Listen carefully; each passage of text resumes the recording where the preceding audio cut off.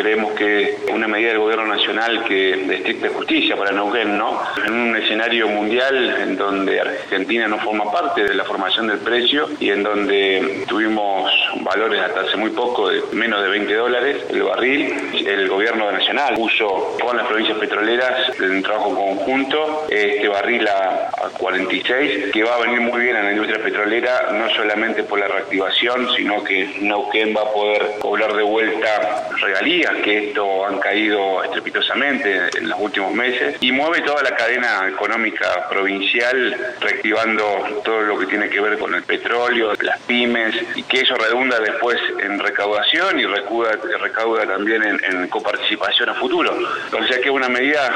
este, realmente que promete reactivar vaca muerta en, en, Neuquén, parte de una medida, digamos, que es un aliciente y también, eh, bueno, remarcar las condiciones, ¿no? Que nosotros este, festejamos también que sea con salida automática. Esto, esto significa que si el barril está por, por arriba de ese precio, eh, la nación no le va a retener a Neuquén la diferencia del precio que se obtenga, sino que cae el precio del barril, digamos, del 46 y del 50 va a cobrar a 50, ¿no? Esto también es muy importante